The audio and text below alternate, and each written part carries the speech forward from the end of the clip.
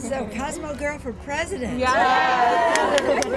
What I wanted women to take away from the book is the title, Know Your Power. I wanted them to know their power. And while I don't think that anything I said in the book was particularly original, it's an experience shared by many women in America, I do want them to have confidence that at least in my case, it worked, and I think it will work for them. Power I have springs from the confidence I have in what I have set out to do. At the beginning and end of the day, a mom and a grandmother, and I care about not only my own children, but all children in our country. And that passion for children is what drives my engine and keeps me on course. And uh, I know that that job needs to be done, and I am in a position to, to uh, do that. So that's what, that's what drives me. The next generation of female leaders gives me so much confidence. They're raised in a different era, different generation, and not only are they raised differently, young men are raised differently as well to accept uh, all the opportunities and possibilities for women. It's not even an issue of acceptance, it's just the fact.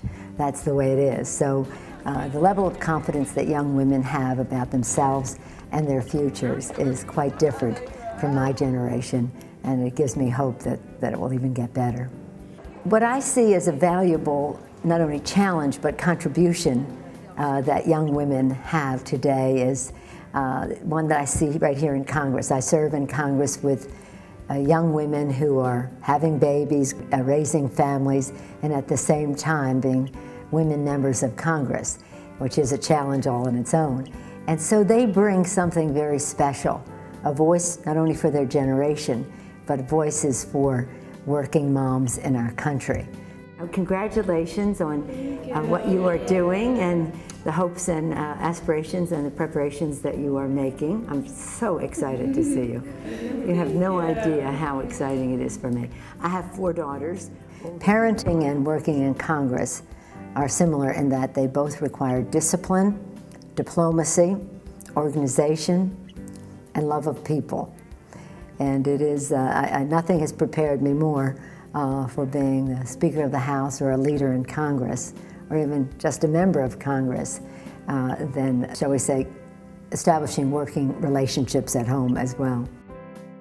My biggest hope for my children, um, including my son, my four daughters and my son and my grandchildren, of which I have six grandsons and one granddaughter, is uh, my greatest hope for my children and grandchildren is uh, that they be personally happy, whatever their field of endeavor, uh, whatever they set out to do.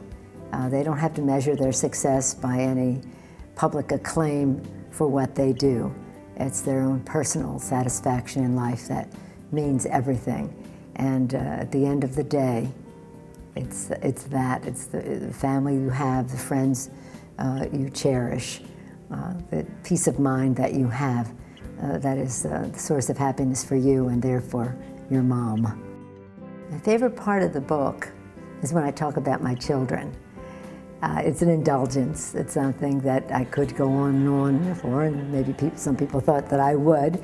Uh, but uh, to be able to just even put pen to pad uh, to talk about them and what they mean to my husband and to me is the greatest joy.